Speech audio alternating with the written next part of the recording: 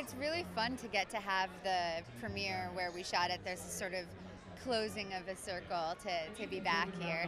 And um, it's it's just a great place to shoot. There's amazing studios. There's incredible crews.